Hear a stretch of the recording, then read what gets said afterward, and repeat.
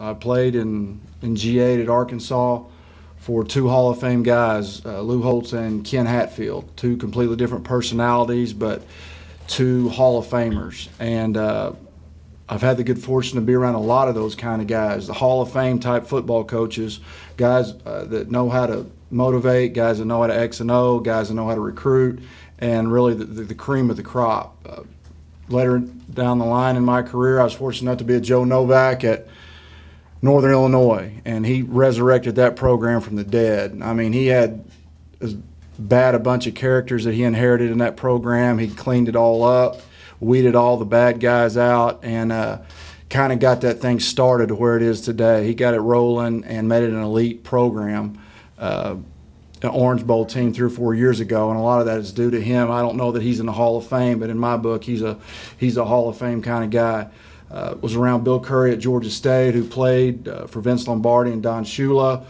Uh, played for uh, Bobby Dodd at Georgia Tech and uh, was ACC Coach of the Year, SEC Coach of the Year, and uh, have been blessed along those lines. When I had the good fortune to have the opportunity to come here, that certainly was one of the attractions for me. Mark Farley, Coach Simmons, and I were talking the other day. Uh, he is not in the Hall of Fame right now, but he's headed that direction. He's a Hall of Fame type coach. When you have the type of sustained success that he has had over his career, you know, it's one thing to, to, to win, have a good season, then have another good season, maybe a third season. Uh, it, it's it, that is a heck of a lot easier to, to, to have some success than have sustained success. And that's what separates the great ones from the Hall of Famers. So that was certainly an attraction to me. This is my third go around in this league.